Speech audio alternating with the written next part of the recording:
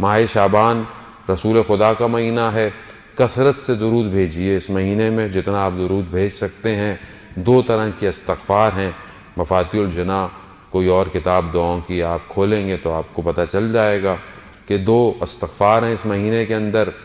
एक सलावात शाबानिया है, जो थोड़ा सा तुलानी है, लेकिन हर रोज़ जहरैन की नमाज़ में अगर पढ़ें या जोहर के बाद पढ़ें तो वो ज़्यादा बेहतर है।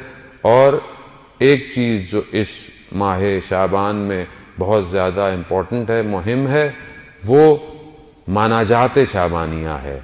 यानी वो मनाजात के जो शाबान में की जाती है। और उलमा यही कहते हैं, ये जो मनाजात है, ये जो दुआ है, ये सारे आयम्मा ने इसको किया है। यानी सबसे ज़्यादा जो ऑथेंटिकेशन या आप कह लें कि बहुत ज़्यादा रिवायात हैं, वो इस मनाजात की हैं। तो कोशिश करें बहरहाल कि शब की तारीकी में, तन्हाई में, सोने से पहले कुछ जुमले इस दुआ के, इस मनाजात के जो है वो जमजमा करें। क्योंकि बहरहाल इंसान अपने अल्फाज से पहचाना जाता है।